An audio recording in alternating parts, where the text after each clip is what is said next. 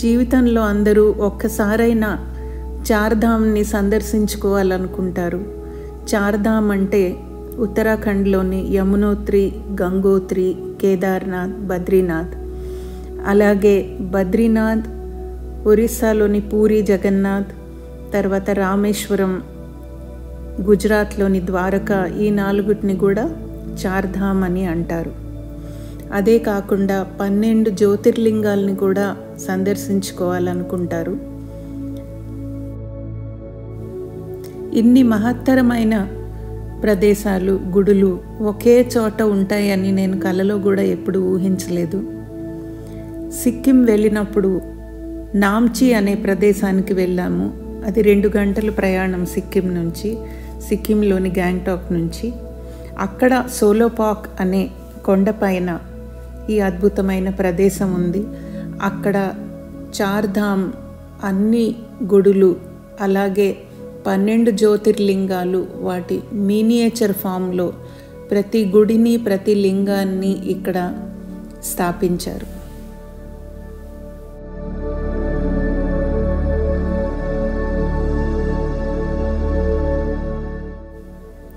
అలాగే నూట ఎనిమిది అడుగుల ఎత్తుగల శివుడి విగ్రహాన్ని కూడా ఇక్కడ స్థాపించారు.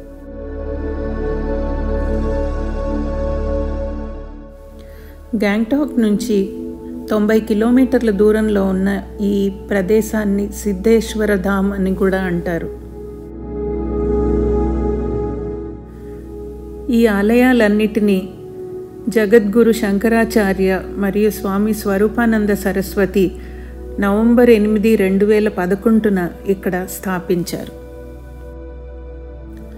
ఆలయ ప్రాంగణంలో కిరతేశ్వర్ అనే వేటగాడి రూపంలో శివుడు దర్శనమిస్తాడు.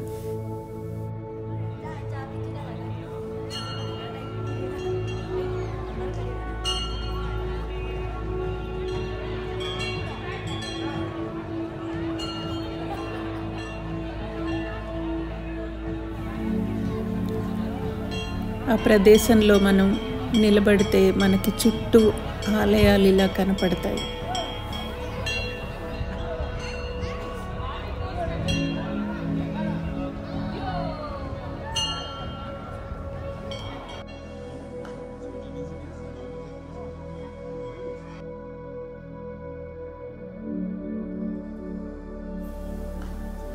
నేను పన్నెండు జ్యోతిర్లింగాలకి వెళ్ళాను.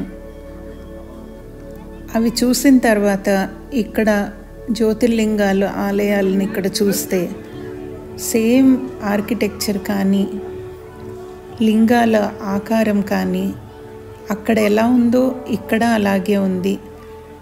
కానీ కొంత మినియేచర్ టెంపుల్స్ లాగా కట్టారు వీటిని.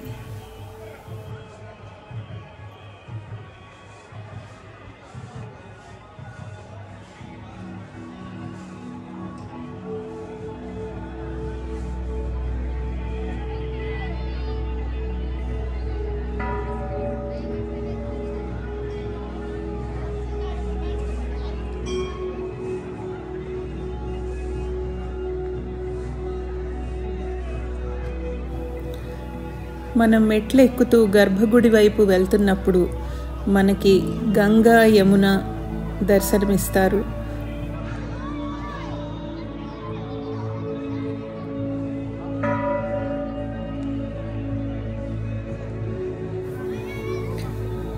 కొండపైన ఈ సిద్ధేశ్వర ధామ్ ఎంతో ప్రశాంతంగా ఉంది.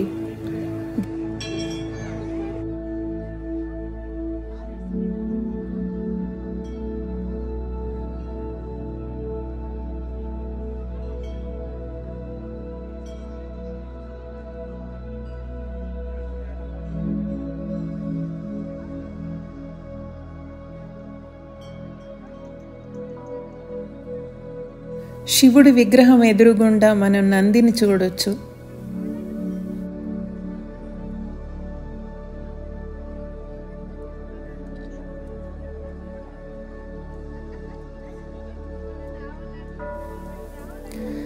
మీరు కనుక సిక్కిం వెళ్తే తప్పనిసరిగా ఈ నామ్చి వెళ్ళి ఈ సిద్ధేశ్వర ధామ్ చార్ధామ్ని సందర్శించండి. ఎంతో ప్రశాంతంగా ఉంటుంది. ధ్యానం చేసుకోవటానికి చాలా బాగుంటుంది. మరువలేని ప్రదేశం. ఇదే నామ్చీలోని చార్ధామ్.